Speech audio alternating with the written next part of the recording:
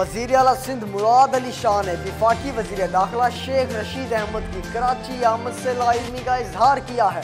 शिकारपुर में सहाफ़ियों से गुफ्तु में मुराद अली शाह का कहना था कि इन्हें या सिंध हुकूमत के हुकाम में से किसी को इस मुतल कोई इतला नहीं मिली। इन्होंने कहा कि शेख रशीद को आना है तो ज़रूर आए। कच्चे के इलाके में भी इनको ले जाएँगे। मुराद अली शाह का कहना था कि कच्चे के तमाम इलाकों को खाली कराया जाएगा। पाकिस्तान पीपल्स पार्टी के चेयरमैन बिलावल भुटो जरदारी ने कहा है कि शहबाज शरीफ के बयानी को ही नून लीग की पॉलिसी समझेंगे।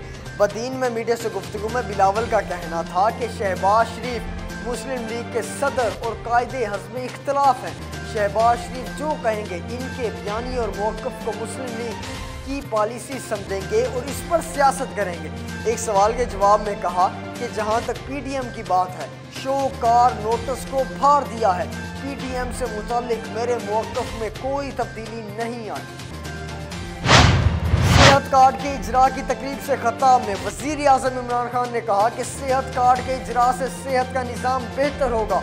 निजी शोबे की दिलचस्पी बढ़ेगी निजी शोबे को अस्पतालों की तामीर के लिए सरकारी ज़मीन फ्राहम की जाएगी।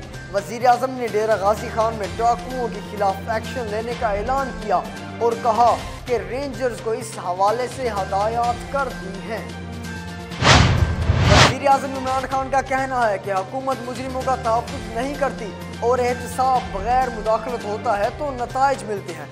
अपने एक बयान में इमरान खान का कहना था कि इनकी हुकूमत में नैब ने चार सौ चौरासी अरब रुपये रिकवर किए, जबकि उन्नीस सौ निन्यानवे से दो हज़ार सत्रह तक नैब सिर्फ़ दो सौ नब्बे अरब रिकवर कर सका।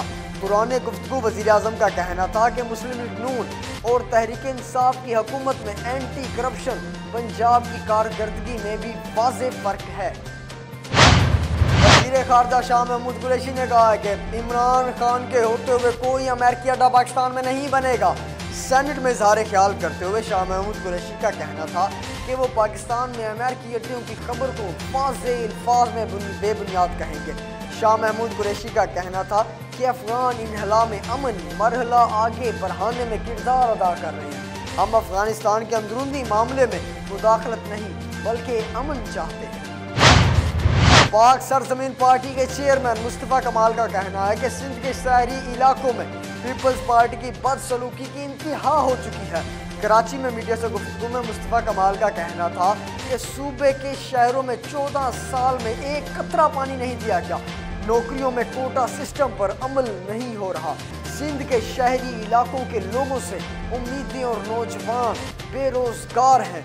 मुस्तफ़ा कमाल का कहना था कि हमारे साथ सिंधी नहीं, पीपल्स पार्टी जुल्म कर रही है।